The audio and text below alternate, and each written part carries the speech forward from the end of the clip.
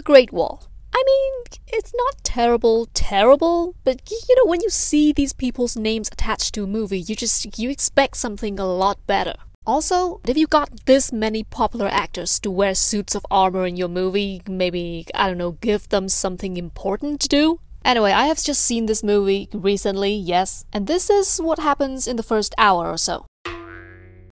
Alright, starting the movie, you follow two European men who came to China to look for black powder, as they call it. One of them is named William, played by Matt Damon. Unfortunately, or fortunately, I don't know, they get captured and held prisoners by the Chinese border troops, which is an unpleasant thing for both sides because of the language barrier. However, during interrogation, Where was this found?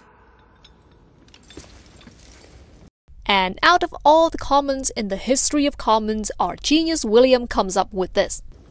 You speak English?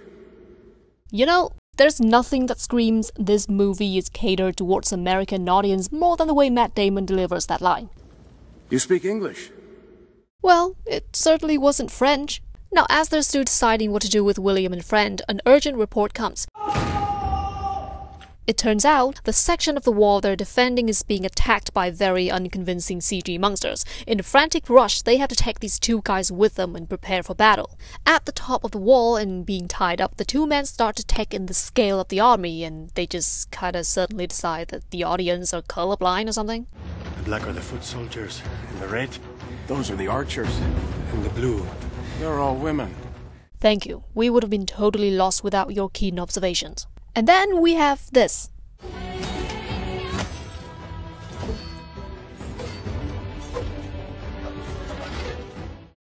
Hmm. Have you ever seen anything like this?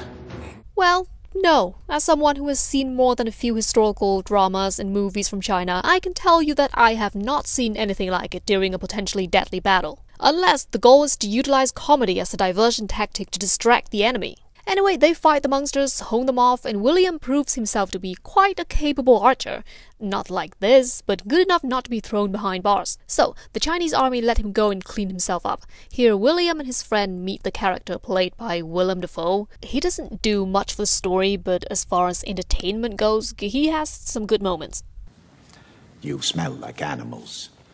What? I am not watching The Green Goblin on a different window just so I can hear that awesome villain voice again, okay? What are you even talking about? Anyway, so afterwards, the two friends go out to formally greet the army commanders. Clean shaven, so you can finally tell which one is William, because you definitely can't rely on their personalities for that at this point. Or ever. Now, after a little demonstration, William earns some trust and intrigue from the Chinese commanders. One of them takes special interest in him and they kind of bond over lunch or whatever. Who taught you English? Because this type of interactions were totally allowed in imperialistic time. Then she invites him back to the uh, the battle area of the wall, explaining to him why that dance was necessary and then encouraging him to take a dive like she did earlier on. William, understandably, doesn't want to. I think you're afraid. 信任.信任 means trust. A man must learn to trust before he can be trusted. Uh, you ask a guy you just met this morning to jump the height of the Great Wall, and you think he has trust issues because he hesitates? I mean, at least wait until your second lunch date or something. Anyway, we still have the uh, the CG monsters to deal with, so they all come up with an idea. using a sleeping drug to capture one of those monsters to study it and come up with a better strategy. It's a frightening business, of course, when it's almost time for the monsters to attack again, and some of the soldiers are a little nervous, which leads to probably the best emotional struggle in this movie. Yes, and you know what? Given everything that's been going on out here so far, I think I prefer to be in the kitchen too.